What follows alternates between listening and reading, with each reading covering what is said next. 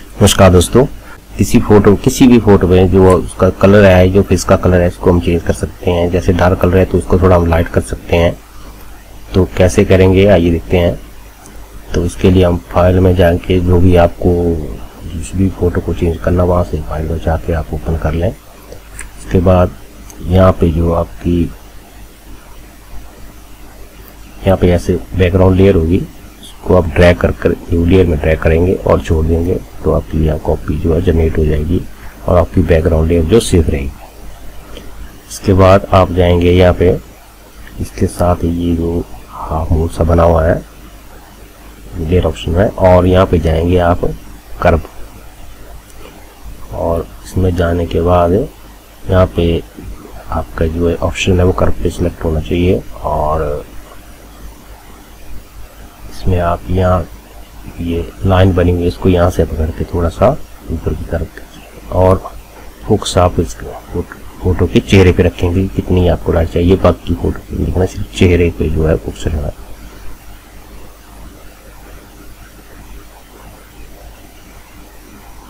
तो ये काफ़ी है फ़िलहाल। और इसके बाद जो आप ये जो बना हुआ है स्केयर साइज़ के ऊपर क्लिक करेंगे। जाएँगे आप अपने कीबोर्ड से प्रेस करेंगे कंट्रोल प्लस आई इसके बाद जाएँगे ब्रश टूल में और यहाँ पे ओपेसिटी ब्रश की ओपेसिटी जो 100 परसेंट और सॉफ्ट राउंडर ब्रश सेलेक्ट हो और इसके साथ जो है वो फ्लो जो है कलर का फ्लो 26 परसेंट आराम से यहाँ से आपको थोड़ा सा साइज़ बढ़ा करके इसमें पेंट करेंगे ऐसे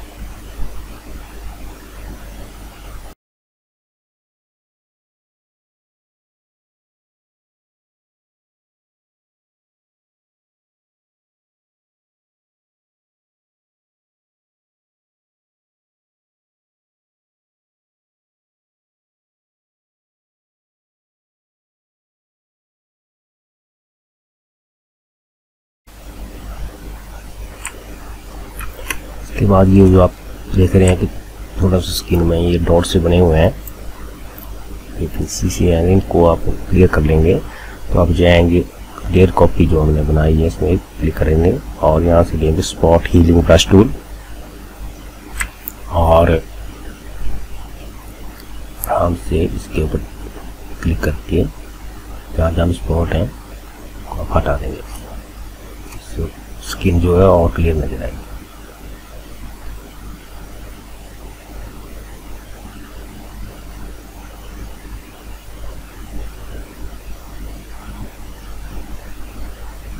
अच्छा से यहाँ पे जो आईब्रो के यहाँ से जैसे बाल जैसे कम लग रहे हैं तो इसके लिए आप यहाँ से यहाँ पे टूल है क्लोज स्टैम्प टूल उसको लेंगे और यहाँ पे हेल्थ प्रेस करेंगे और यहाँ से यहाँ पे जो बाल है उनका सैंपल ले लेंगे और यहाँ पे आके ऐसे इसको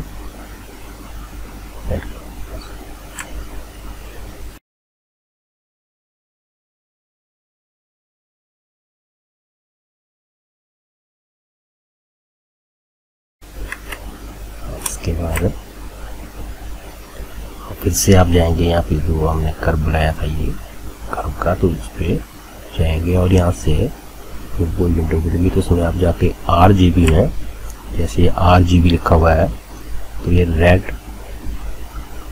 ग्रीन, ब्लू, इन तीनों को बुलाते हैं। उसको बोलते हैं आर जी बी तो हम जाएँगे हमारे रेड में और रेड में जाने के बाद थोड़ा सा इसको रेडिश कलर थोड़ा सा कम फ़ोटो में थोड़ा सा ज़्यादा लग रहा है।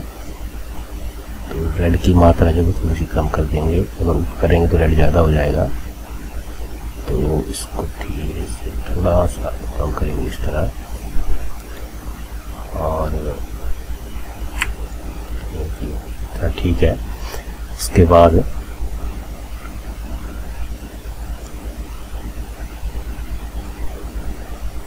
जाएँगे फिर से में। और यहाँ से लेंगे लेवल। तो लेवल में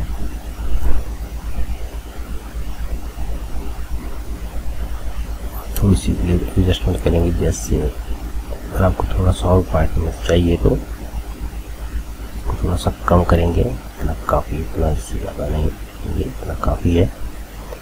और यहाँ पे भी अगर आपको वैसे यहाँ ज़रूरत नहीं है रेड ग्रीन ब्लू की तो इसको रहने देंगे। फ़ोटो आपका जो हो, ठीक लग रहा है टाइम के बाद जैसे थोड़ा सा इनका लिप्स का अगर कलर चेंज करना चाहें आप तो यहाँ से ब्रश टूल लेंगे यहाँ से। और तो आप न्यू लेयर लेंगे यहाँ से। और यहाँ पे जाके जो भी कलर आपको चाहिए।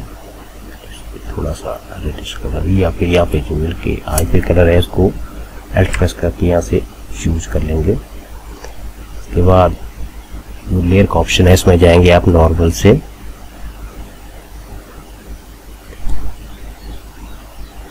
ओवरले ओवरले में चेक कर लें। ओवरले भी ठीक है तो सब इसका साइज़ थोड़ा सा बड़ा करके।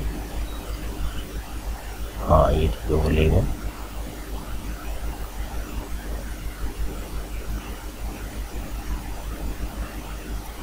हल्का सा, ज़्यादा नहीं, हल्का सा इसको, हल्का सा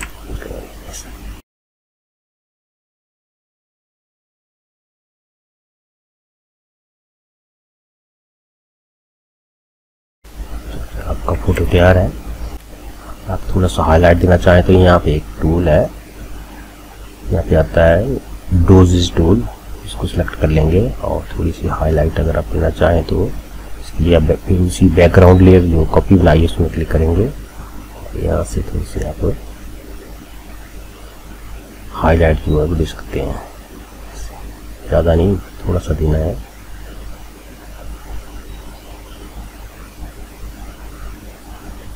इस तरह से यहाँ से आप अपने जो भी जितनी लेयर्स बनाई हैं, उनको आप सिलेक्ट करेंगे यहाँ से।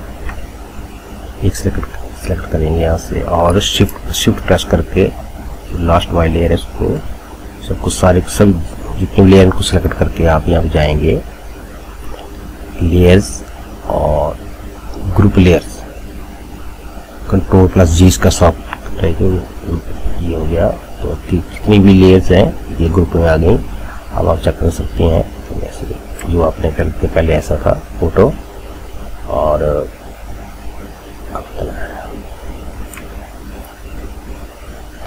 जितना भी आप उसको बढ़िया रिटच करेंगे फ़ोटो फ़ोटो उतना अच्छा आएगा और थोड़ा डिपेंड डिस्प्ले करता है कि फ़ोटो की जो रेजोल्यूशन है वो बढ़िया होना चाहिए, कम रेजोल्यूशन का फ़ोटो जो है वो उतना क्लियर नहीं आता। है